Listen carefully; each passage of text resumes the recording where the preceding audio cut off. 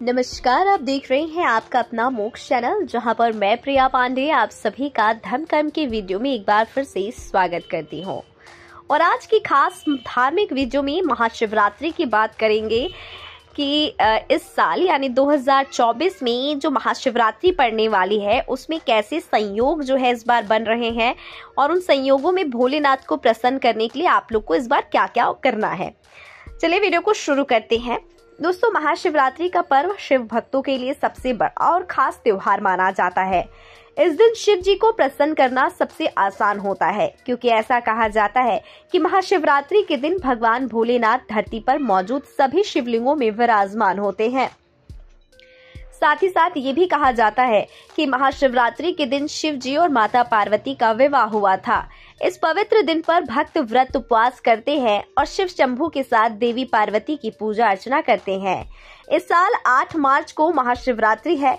इस बार की महाशिवरात्रि बहुत ही खास मानी जा रही है, क्योंकि इस बार महाशिवरात्रि के दिन कई शुभ योग बन रहे हैं। ऐसे में इस बार शिव जी की पूजा अधिक फलदायी भी मानी जा रही है। चलिए, आज आपको हम इस वीडियो के ज़रिए बताते हैं कि महाशिवरात्रि के दिन बनने वाले शुभ योग के बारे में कि कैसे होने वाले हैं।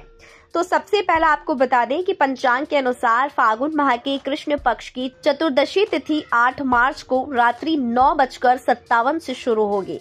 अगले दिन इस तिथि का समापन 9 मार्च को शाम छह बजकर सत्रह मिनट पर होगा। महाशिवरात्रि पर पूजा का मुहूर्त रात्रि के बारह बजकर सात मिनट से बारह बजकर छप्पन मिनट तक रहेगा। सवार्थ सिद्धि योग सुबह छह बजकर अड़तीस मिनट से दस बजकर इकतालीस मिनट तक रहेगा। तो वहीं शिव योग 9 मार्च को सूर्योदय रात्रि बारह बजकर छियालीस मिनट तक। सिद्ध योग 9 मार्च को रात्रि बारह बजकर छियालीस मिनट से आठ बजकर बत्तीस मिनट तक रहने वाला है। श्रवण नक्षत्र की बात करें तो सुबह दस बजकर इकतालीस मिनट तक। दोस्तों, स्वार्थ सिद्धि योग को बहुत ही शुभ माना जाता है। इस योग में किए गए सभी कार्य सफल होते हैं। महाशिवरात्रि के अवसर पर शिव योग बनना शुभ माना जा रहा है। इस योग में ध्यान करना और मंत्र जाप करना अच्छा माना जाता है। इस शुभ समय में भोलेनाथ की पूजा करने से जीवन में सुख समृद्धि आती है।